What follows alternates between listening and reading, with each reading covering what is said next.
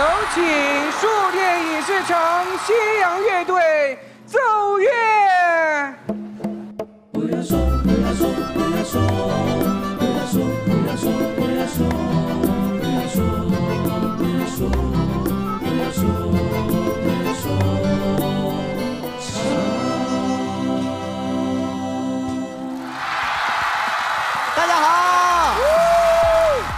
接下来到快乐大本营和快手短视频为您联合带来的音乐环节。不要说唱。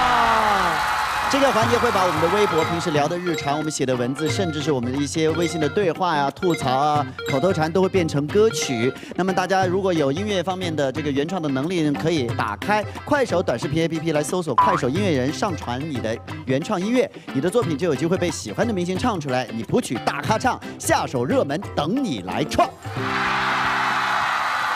今天呢，我们来到马栏山树电影视城，我是大家熟悉的 CEO 小何。最近呢，首席导演刘维，年度音乐大戏《马兰攻略》，马上就要开拍了。是的，听到导演信息，大家一定没有什么期待，因为觉得我导的应该不咋地。但是我跟你们说一说内容，你们就觉得非常的 amazing，非常的精彩。首先，我们这位演唱大咖，他有空灵的声音，而且他上过无数次歌手。他就是我们的何老师。是这样的，我答应刘维当导演的要求就是必须由我来唱。但是我们真的在隔壁搭了一个非常豪华的场景。而且要求我们所有待会选出的演员在里面是完成一气呵成的这个直播的演出，是的，所以是堪比我们幻乐之城，是的，我们简称幻乐之坡。说实话，这一次真的是很认真的，《白月光》这首歌其实意境是非常好的，但是为了融入到我们的故事里面，我还专门。请《白月光》的作词人李卓雄老师改词，哇哦！所以我们唱的这个《白月光》是李卓雄老师为我们《幻乐之坡》的这个版本专门改的。是的，专门改的词，太专业了。所以我觉得这一定是一个非常厉害的视听盛宴。那么，因为我们现在女主角还没有定，我们有五位优秀的女演员已经来到了现场，但是呢，要怎么样能够演到大结局，还是要看他们的本事。是的。所以今天我给他们命名了一个歌曲大赛，每个人要唱一首歌来表示自己要演到大结局这个信心。游戏规则：现场公布五位竞演嘉宾的我要演到大结局歌单。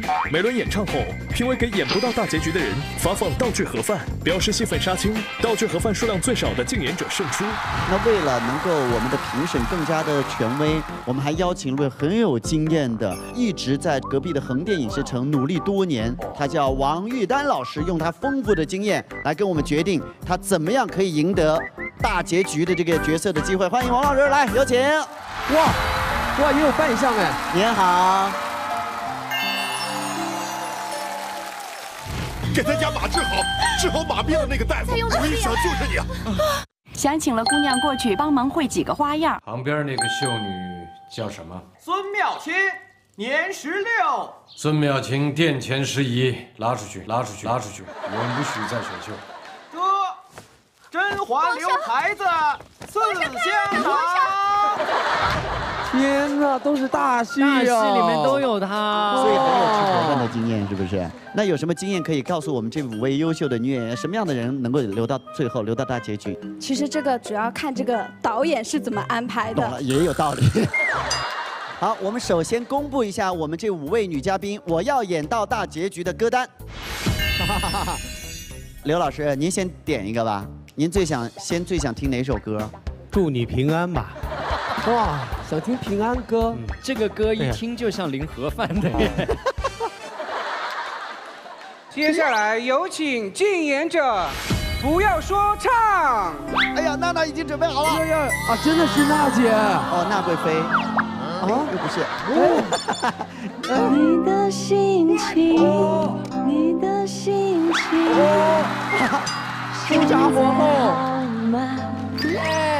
你的脸上还有微笑吗？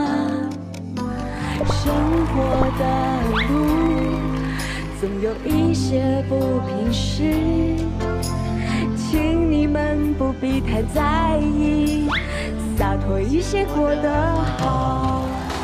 祝你平安，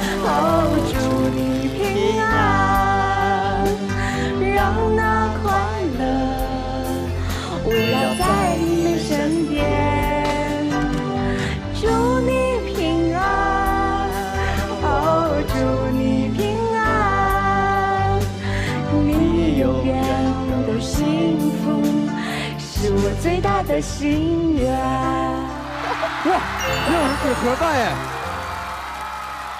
等一下，为什么你们听到都忘了给盒饭了吗？哎呀，是这样的，我我我说说我为什么没有给盒饭？为什么？我听到现在还昏迷不醒的皇后娘娘祝我们平安，我觉得好感人。我想问一下秦岚，你为什么选这首歌作为你的主题歌？因为就很符合富察，对，嗯很符合。端庄自持，大家好才是真的好。我个人是这么觉得的，我觉得如果呃秦岚一个盒饭都没有，好像是我们内定了女主角，就特别不好哎。呀，不要补了，补上都是个疤。好，那就拿回来啦。好，其他四位不用唱了，我们恭喜秦岚当选女主角。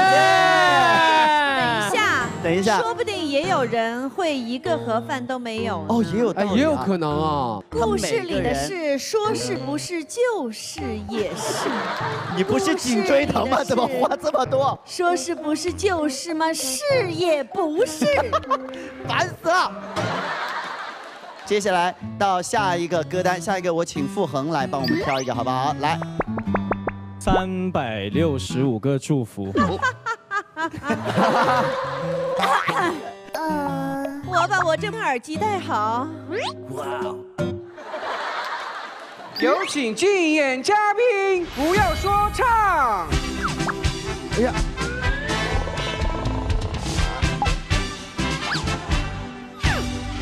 一年有三百六十，一年有三百六十五个日出，我送你三百六十五个祝福。时钟每天转呀转，转了一百圈，我的心呀跟着你，年年啊，有礼物，有礼物拿回来，有礼物拿回来。来。每一天，每一天都要祝你快快乐乐，都要祝你快快乐乐。每一分钟都要盼望平平安安。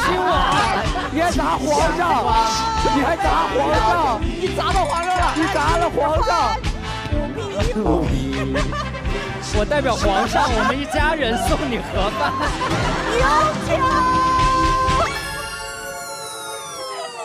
哎呀，盒飞，你们也太过分了！就是作为高贵妃的我都看不下去了。是？吗？盒飞，有一盒贵人。说说看，为什么你要选三百六十五个祝福？因为我觉得送送吉那个吉利送喜庆，大家谁都不会对我下手。但是我觉得你主要不是输在歌上，主要还是输在砸我们这件事上。没有砸你们刚，才在打嘉哥，对，还打皇上。吴昕有没有很意外？你居然没有当选女主角？我真的我都做好那剧本，我都研读好几遍了，太遗憾了。你们慢慢比吧，怎么呢？我先背我的台词。我想最后可能是我跟皇后两个之间的一个。漂亮。来，丹丹，你来选一个歌吧，好吗？呃，下一站天后，哇，下这一站天后，哇，这首好听。这一猜就知道是谁的。接下来有请竞演者，不要说唱。不可能，你别演了。哎呀，唔係唔係呀。白日夢飛翔，白日梦飞翔，永不太远太抽象。最后变天后，做自己都是理想。在时代的廣場，誰都总会有奖。我没有歌，唯有他景仰。即使有天开个唱，谁又要唱？他不可到，仍然仿似白活一场。不恋爱教我怎样唱，几多愛都给我唱，还是勉强。台前如何发亮？難扣扣最爱在耳边，低声温柔地唱。其实心里最大理想，跟他归家为 保护贤妃娘娘。总有一款盒饭适合你，总有一款盒饭适合您，贤妃娘娘。谢谢导演啊，怎么回事？来，导演，导演，没有，我主要是因为我是有私心的。为什么？因为这部戏里面贤妃最后是皇后哦，但所以我觉得在我的这一部戏里面呢。可以让皇后在里面演一个帮忙我们客串，对，特別出演，特特別出演一下，是不是？了解。那当然，你为什么要给呢？因为她唱出了满满的情和爱。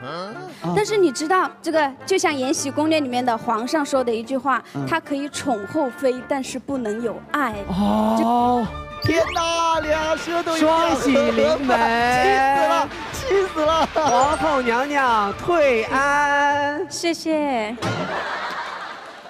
我看王后饿了，分一盒是不是？送你一盒。好。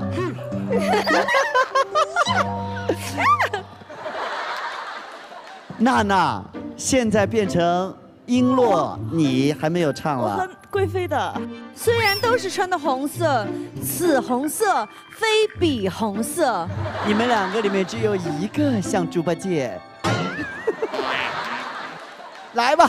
這兩首我们请刘维来帮我们挑一首，好不好？啊，我来挑啊，因为我觉得刚才呀、啊、一直都是比较那种抒情的，我觉得应该来点舞曲动感的，一看就应该是娜姐的曲子《爱情三十六计》好。接下来有请竞演者，不要说唱。我还有 dancer，哇，哇，哇，一路。其實你漂亮，女生没大脑，只懂得曖昧和傻笑。气死了！为什么？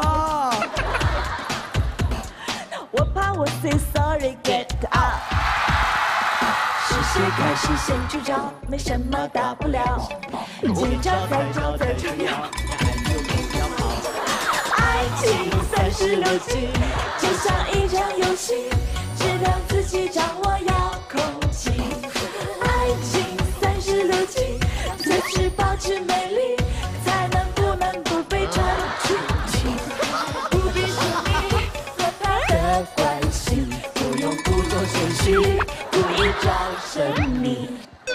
天哪，特别像啊！谢谢谢两位，谢谢两位舞蹈老师。你在退盒饭是不是？我还有两箱。怎么回事？为什麼有？為什么你们给他送盒饭？我跟海涛的盒饭都是送给伴舞。第一个是他，哦，第一个是是那個。不好不好不好不好，怎么回事？不是不是不是，怎么回事？因为我我觉得璎珞戴这个头冠太辛苦了，我想他早点领盒饭就可以把头冠摘下来了。好甜呐！确认过眼神，我遇上对的人，我揮劍轉身。早点领盒饭就可以把头冠摘下來。我不辛苦，我不辛苦。先问一下，为什么我们呃景言要选这首歌？我就为了让自己跳起来，他们没有时间给我盒饭，没想到 还给的多一点，放在旁边，一回头全是。他还还了三个，对，我想多了。我跟你说好消息，没有拿到手上的不算。不是，你跟吴昕现在是平局。你们俩都是五盒盒飯。最后一首歌，来大型道具上上来。嗯，我的雪球。哎哎，小芳，我们的盒饭呢？快给我们准备好。嗯。我希望大家把盒饭自己留着。今天晚上节目组也没有什么夜宵，拿回去自己吃好吗？你先说说你为什么要唱《向天再借五百年》？因为就是想再活五百年。再活五百年的话，谁走了？我都还在。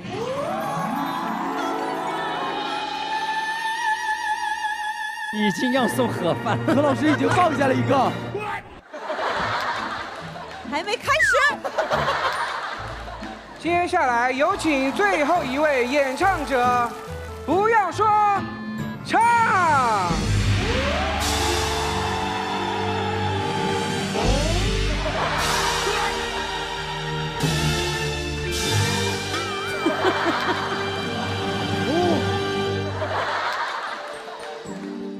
江山起起伏，伏温柔的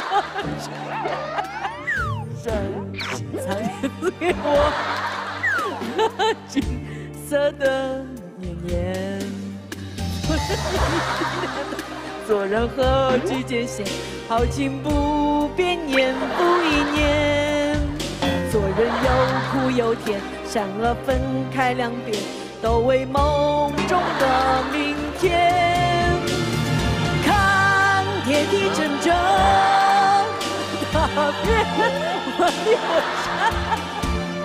我站在风口浪尖，听我出日月旋转，愿烟火人间，安乐太平美满。我真的还想再活五百年，我真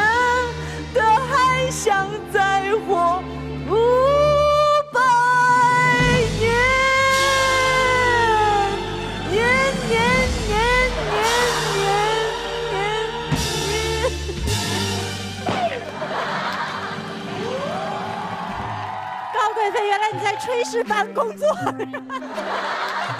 盒饭精本尊。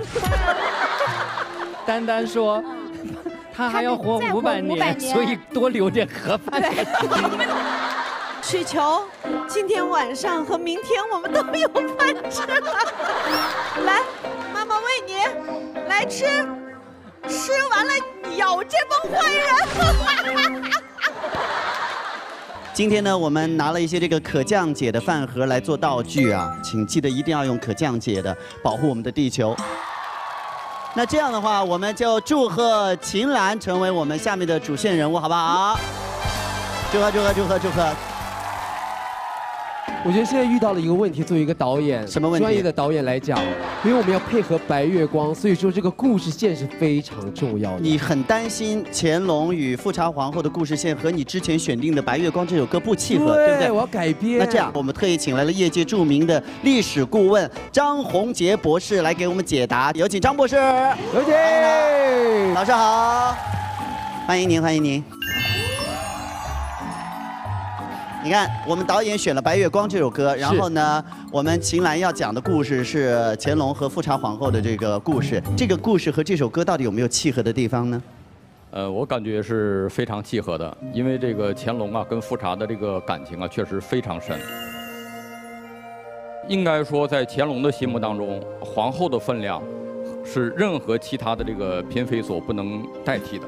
哇！他在富察身上挑不出任何毛病。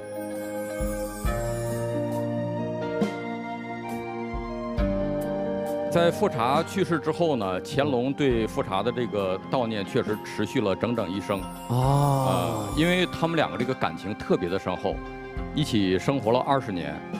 我想，如果是乾隆的时代有这首歌的话，乾隆肯定会喜欢这首歌。谢谢我们的张博士，谢谢，谢谢希望继续看到您对历史的精彩的解读，谢谢，谢谢老师谢谢。接下来我们就有请导演安排我们的演员进入到我们的幻乐车间，完成我们的演出，好不好？好的，走，我们进入我们的幻乐车间。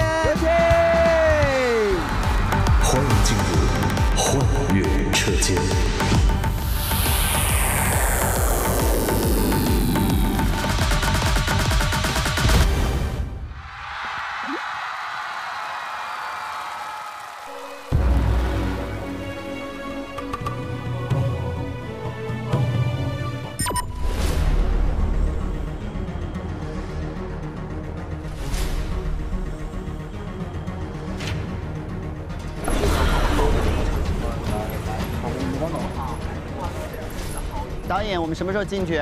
好，来来来，大家准备一下啊！第一场戏从这边开始，只有一次机会哦。是的。年轻的二位在这里边，因为何老师要唱歌，何老师唱歌过来的时候要带到你们两个人站在这儿，所以你们两个人先要先躲在角落。好的，我们听导演的。加油！好的。我去导播间。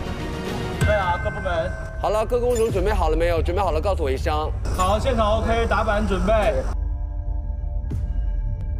三、二、一。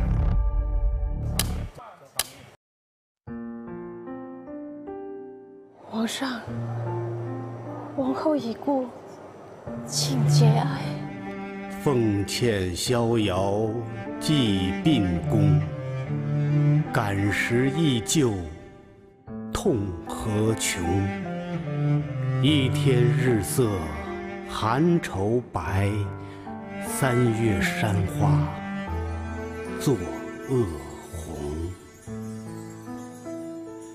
白月光，心里某个地方，那么亮，却那么冰凉。每个人都有一段悲伤，隐藏，却欲盖弥彰。白月光。照生死两茫茫，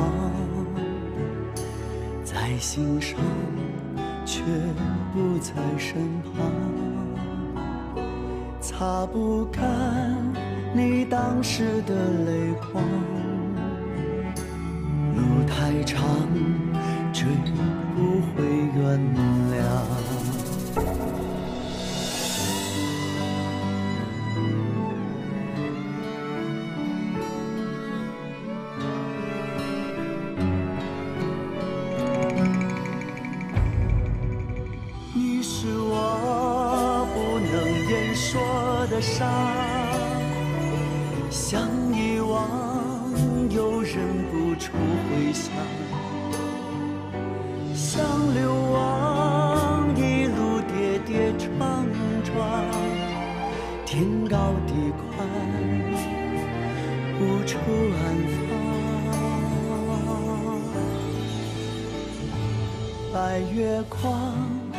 照心冰白如霜，臣妾恭送皇上。越圆满越觉得遗憾，你脸庞梦不回的彼岸，路太长，怎么不长？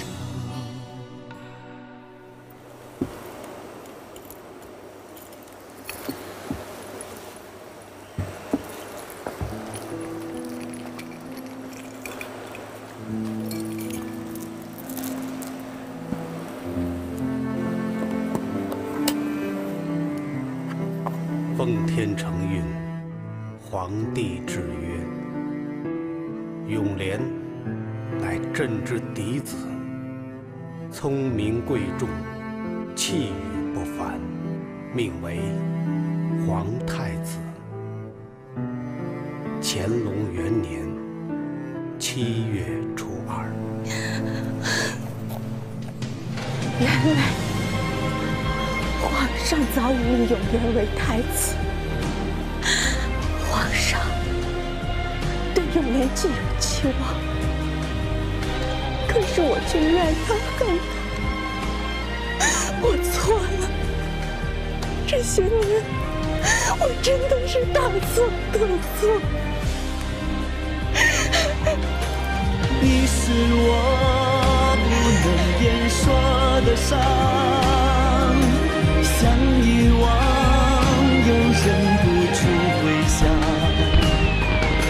像怒放烟花不留花瓣，你的灿烂出远方。白月光。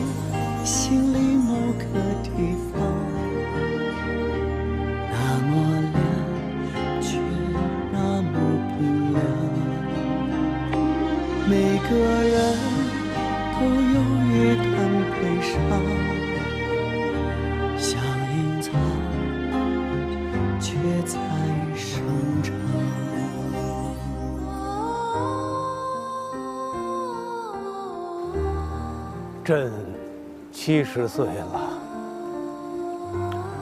朕的曾孙都快要结婚了。富察，你看到了吗？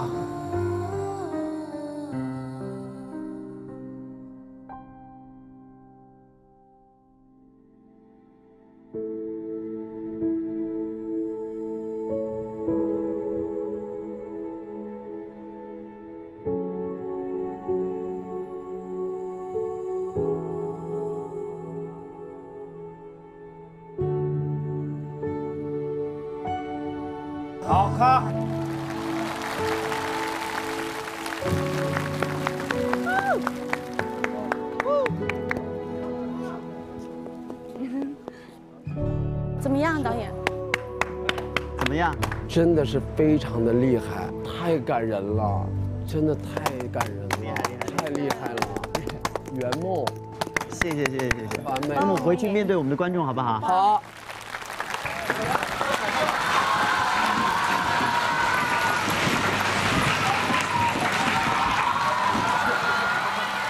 来，掌声给我们最优秀的演员们，谢谢谢谢，很精彩哈，谢谢他们，谢谢，特别感动，特别感动，而且就是确实是一气呵成，然后只有一条过的机会，那么我们所有的演员都表现的那么的精准，然后又那么的投入，太棒了，谢谢你们，谢谢。其实这个不管是我们拍的哪一个影视作品，其实都会在我们生命当中留下一些痕迹。对但是有的时候杀青了之后，可能就再很难再穿回这套衣服，扮回这个妆，更不可能说再演一次这个人生。所以大本营的这个小小的创意，也让我们所有的主创们可以在这短短的几分钟里面又回到这个故事里面。我们就觉得真的很感动。今天拿到所有的戏服，他又要哭了。然后今天我看到这身衣服之后，啊，天哪，富察，他在我的就是人生的道路上给了我很多的启示，还有很多的帮助。我觉得这可能是作为一个演员最幸福的时刻，就是你在一个角色当中，你感受到他的美好，然后就是很想把这部我们 倾入很多感情的戏带给大家，然后大家喜欢。